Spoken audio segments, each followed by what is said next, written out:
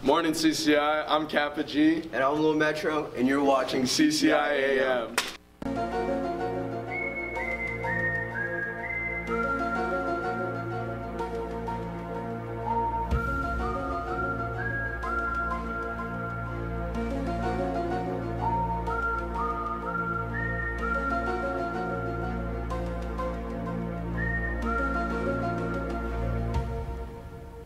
Good morning, CCI. I'm Maddie. And I'm Celeste, and here are your morning announcements. We're going right into the Real News Update.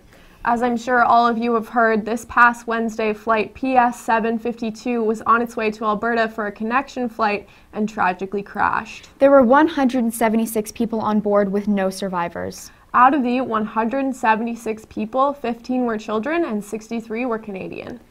Iranian authorities have blamed technical issues, but the crash's timing, just hours after Iran launched missiles at U.S. targets in Iraq, provoked speculation about other possible causes.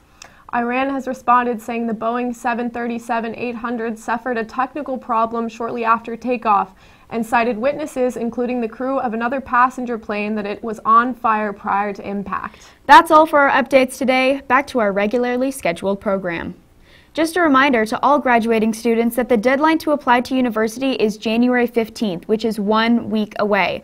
College deadlines are due February 1st. We know this is a review as all of you are connected to the Class of 2020 Google Classroom and are getting the messages, but guidance wanted to remind you one more time not to leave it until the last day. Please go see them if you need any help at all. Attention all girls hockey players. We are going to have a quick meeting at 12 noon today in Matchett's room to go over hockey night in Collingwood and team updates. That's noon and 206, not the beginning of lunch. Junior floor hockey returns today as Feldman and the boys take on Team 25 at 11:35 while the Warriors take on Hookers in hockey at 11:55. After today's matches, playoff rankings will be set and semifinals will begin next week with our 2020 champion crowned by the end of the week. The senior boys basketball team started 2020 off with a bang, beating the visiting Innisdale Invaders last night with a score of 76 to 67. Ethan MacArthur's free throw with two seconds left put the Owls ahead um, in a huge upset in the SCAA league play. Joel Halverson led the scoring with 18 points. Logan Boys added 12, and Jackson Aikens drops 11 points to go with six assists. Congratulations on an incredible team effort, guys. Good luck to the Fighting Owls as they travel to Cambridge this weekend to compete in the St. Benedict tournament. And now over to Kaylee with your weather and a walk in. Good morning, CCI. I'm Kaylee. And Jeez, can you stop interrupting me? Well, Kelly, it's Mr. Hammond here, and I've got a five day weather forecast for you.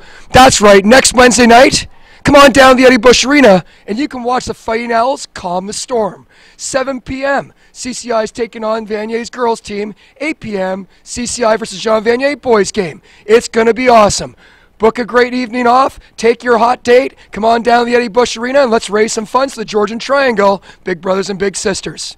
So, anything else happening in weather these days?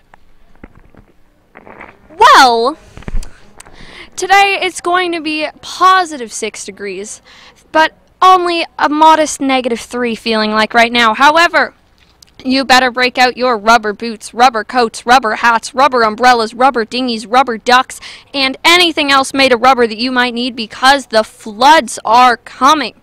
That's right, from now through the weekend, we are projected to get up to 75 millimeters of rain and freezing rain and apparently that means that Blue Mountain will be foregoing its operation of the ski runs and instead using the hills as the site for the newly incoming water park. Also, in case you weren't paying attention, which I mean, who pays attention to the hosts, am I right? They didn't even give you a study tip today. What a disappointment.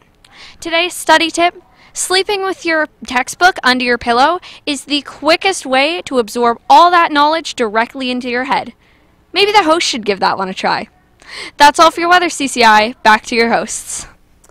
I really hope Kaylee doesn't get washed away in the flood. Those are all of your announcements, CCI. Now, now here's, here's, your bell. bell.